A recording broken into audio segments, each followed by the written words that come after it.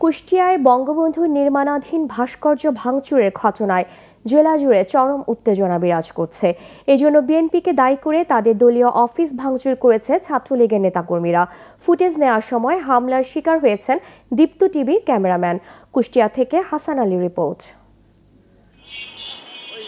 কুষ্টিয়া শহরের প্রাণকেন্দ্র পাঁচ রাস্তা মোড়ে শুক্রবার গভীর রাতে নির্মাণাধীন ভাস্কর্যের ডান হাত, পুরো মুখমণ্ডল ও বা হাতের অংশ বিশেষ ভেঙে ফেলে দুর্বৃত্তরা। এ ঘটনায় শনিবার দুপুর থেকে গভীর রাত পর্যন্ত শহর জুড়ে প্রতিবাদে ফেটে পড়ে সচেতন মহল।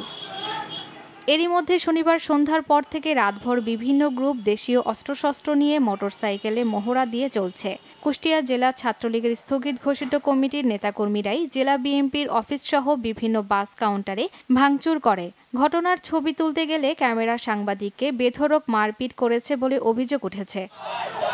এছাড়া মোরালের পাশে পুলিশ বেষ্টনীর মধ্যে বিক্ষোভ চলাকালে কয়েক রাউন্ড গুলিবর্ষণের অভিযোগও করেছে প্রত্যক্ষদর্শীরা। পুলিশের অবহেলায় শহর জুড়ে তাণ্ডবের অভিযোগ শহরবাসীর। তাণ্ডব চালিয়ে গোটা শহরে আতঙ্ক সৃষ্টির অভিযোগ করে দায়ীদের আইনের আওতায় আনার দাবি জানিয়েছেন বিএনপি। কারা? কে করছে? আমরা তো বসে আছি, আমরা তো অফিসে বসতে পারছি না। ম্যাডামের ছবি ভেঙেছে, জিয়া রহমানের ছবি ভেঙেছে, তরিকুল ইসলাম ভাইয়ের ছবি ছিল, সেগুলো ভেঙেছে। আমরা জোর নিন্দা করি।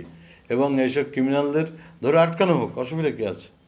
এদিকে ঘটনাস্থল পরিদর্শন করে খুলনা রেঞ্জের ডিআইজি জানিয়েছেন, ঘটনার সাথে প্রত্যক্ষ বা পরোক্ষভাবে জড়িত সকলকে খুঁজে বের করা হবে। পুলিশের কোনো গাফলতি থাকলে বিভাগীয় ব্যবস্থা নেয়ার কথাও জানান তিনি। ভাস্কর্যের আশপাশ থেকে আমরা পজিটিভ সাক্ষ্য প্রমাণ কিছু পাইছি। আপনাদেরকে আমরা অচিরেই আশা করি একটা ভালো সংবাদ জানাতে পারব।